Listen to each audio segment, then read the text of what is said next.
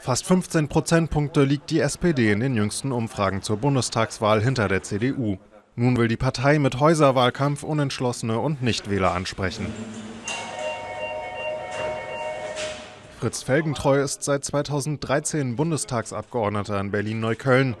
Seine Chancen, wieder direkt gewählt zu werden, stehen gut, doch der Bezirk ist nicht gerade politikbegeistert.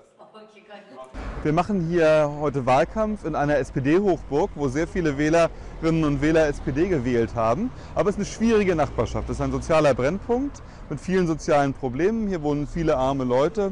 Hier wohnen, ähm, äh, wir, haben, wir haben relativ viele Probleme mit Drogenhandel beispielsweise, Arbeitslosigkeit und steigenden Mieten. Insofern äh, ist es eine Nachbarschaft, für die man sich einsetzen muss und wo man die Menschen auch motivieren muss, am politischen Leben teilzunehmen. Weniger als sechs Wochen vor der Wahl befinden sich die Sozialdemokraten in einer schwierigen Lage. Auch in Neukölln bleiben für Felix Felgentreu einige Türen geschlossen.